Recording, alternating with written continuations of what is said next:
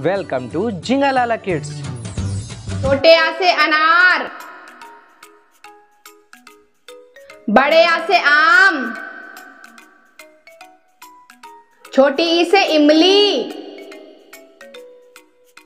बड़ी ई से ईख। छोटे ऊ से उल्लू। बड़े ऊ से ऊन। री से ऋषि ए से एड़ी आय से ऐनक।